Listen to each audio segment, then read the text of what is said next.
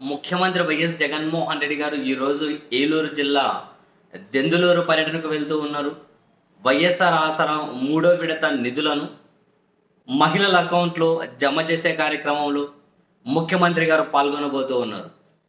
నాడు ప్రతిపక్ష నాయకుడిగా డ్వాక్రా మహిళలకు తాను హామీ ఇచ్చారు ప్రామిస్ చేశారు. మీ బకాయిలను ప్రభుత్వం చెల్లిస్తుందని ఈ ఓవరాల్గా కొంచెం అటు ఇటుగా ఇరవై ఆరు వేల కోట్లు ఉన్నాయి ఇప్పటికే రెండు విడతలుగా వైఎస్ఆర్ ఆసరా కింద వాళ్ళ వాళ్ళ ఖాతాలలో డబ్బు జమ చేశారు.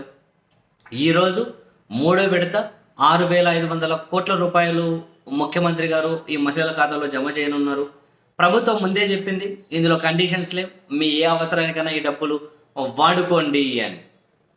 ఈ క్రమంలో ఈ కార్యక్రమం ఈ రోజు నుంచి వచ్చే నెల ఐదవ తేదీ వరకు ఎంపీ ఎమ్మెల్యేలు ఆయా ప్రాంతాల్లో వెళ్ళి ఈ నగదు పంపిణీ కార్యక్రమానికి సంబంధించి కొన్ని ప్రోగ్రామ్స్ అంటే ఆ- ఆ- కార్యక్రమాలు ఉంటాయి. అందులో వాళ్ళు కూడా పాల్గొని వాళ్ళ ప్రభుత్వం చేస్తున్నటువంటి పని అందులో కీలకమైన దీని గురించి కూడా వివరించబోతూ ఉన్నారు.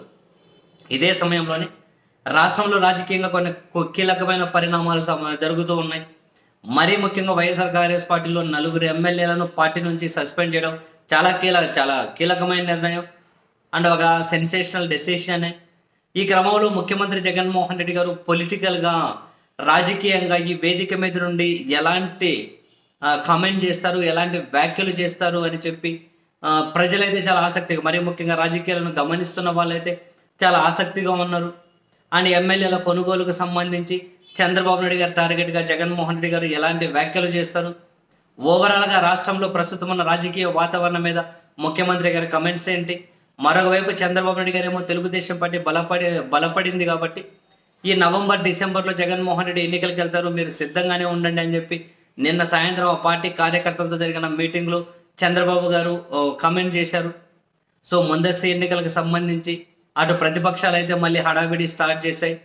ఇటువంటి పరిస్థితుల మధ్య ఈరోజు రాజకీయంగా బాగా వేడివేడిగా ఉంటున్న ఈ ప్రస్తుత పరిస్థితుల్లో ఈరోజు బహిరంగ సభ వేదిక మీద నుండి పవన్ జగన్మోహన్ రెడ్డి గారు ఏమని ప్రసంగించబోతున్నారు అండ్ గోదావరి జిల్లాల్లోకి వెళ్తూ ఉన్నారు.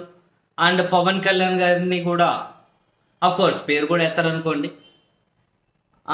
తనను కూడా ఉద్దేశించి తెలుగుదేశం పార్టీతో ఈ పొత్తుకు సంబంధించి మళ్ళీ సేమ్ దమ్ముంటే నూట డెబ్బై సీట్లలో పోటీ చేస్తామని చెప్పి ప్రకటించండి అని చెప్పి ఏమైనా ఛాలెంజ్లు ఇస్తే ఊరుకుంటారా?